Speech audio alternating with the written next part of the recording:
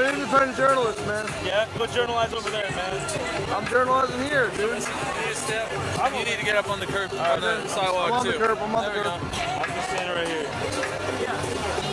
What are you, what are you trying to do, man? Why are you trying to be a dick? There's so many people. I'm independent. No, don't go camera. Don't touch my fucking camera. Don't touch my camera. That's your right. I'm a fucking independent ca- I'm an independent fucking journalist. Fuck you. Film. I'm an independent journalist. He's watching film. Don't go to, don't go to jail or something. I'm watching film. I'm trying to, I'm trying to hold everybody accountable here. Don't touch him. I'm holding the police accountable here. I'm holding everybody accountable here. Exactly. You, you, you can promise something. I'm holding everybody Look accountable. at your friend, man. Stay on the curb, guys. It's called Streets Are Watching. We're in a public street. Streets Are Watching. We are, yeah, we are the people. We need to, we need to film this.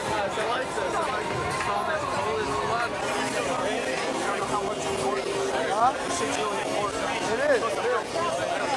This is all about keeping everybody accountable. CR3W TV is watching. This is CR3W TV's ASU correspondent Spencer Hines. We're, we are holding Tempe Police accountable for this shit.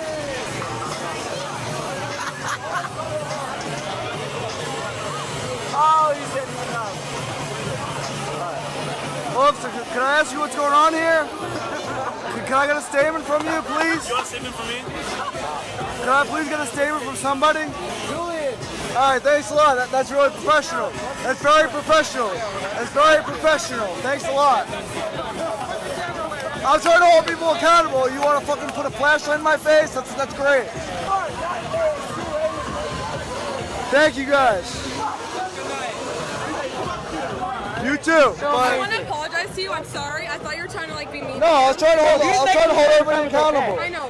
You. I'm sorry. It's all I didn't mean to like be belligerent or anything. So I'm sorry. Thank you. It's all right. It's all right.